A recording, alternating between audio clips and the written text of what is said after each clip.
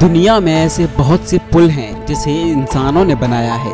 उसकी खूबसूरती की लोग तारीफ़ भी बहुत करते हैं और इन पुलों से ही कई शहर या देश जाने जाते हैं। सिडनी का हार्बर ब्रिज हो या टावर ब्रिज, दुनिया में इसकी अलग ही पहचान है। मगर भारत में एक ऐसा ब्रिज है जो अपने आप में ही इतना अद्भुत है कि उसे देखकर आप दंग रह जाएँगे। और उसके सामने दुनिया का कोई भी पुल हो, सब फीके लगने लगेंगे। इस पुल की खास बात यह है कि ये पुल पेड़ की जड़ों से बना हुआ है।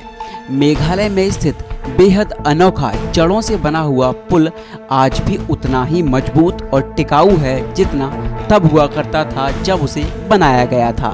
रिपोर्ट्स की माने तो ये पुल 180 साल से भी ज़्यादा पुराना है। इसकी खासियत ये है कि ये पुल पेड़ों की ज़िंदा जड़ों के धागे की तरह बुनकर बनाया गया है। आप सोचेंगे कि इस अद्भुत पुल को बनाने में काफ़ी प्रशिक्षित इंजीनियर्स का दिमाग लगा होगा, पर आप गलत हैं।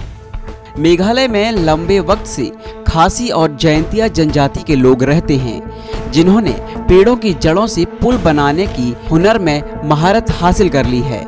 इस जनजाति के लोगों ने ही इस पुल को कई सौ साल पहले अपने हाथों से बनाया था। आज भी पुल वैसा ही टिकाऊ है और इस पर एक साथ 50 से ज़्यादा लोग तक आराम से चल सकते हैं। ये पुल मेघालय के घने जंगलों से गुजरने वाली नदी के ठीक ऊपर बनाया गया है, जिससे नदी पार करने में आसानी हो सके। बता दें कि लिविंग रूट ब्रिज रबर के पेड़ों की जड़ों से बना है, जिन्हें फिकस इलास्टिका ट्री कहा जाता है।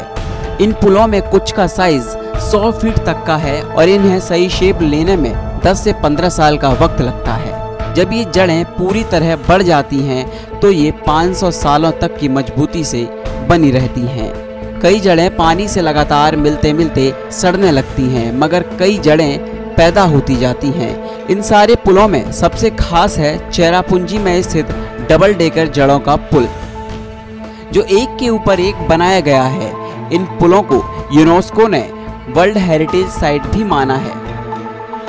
Bureau report, India post news.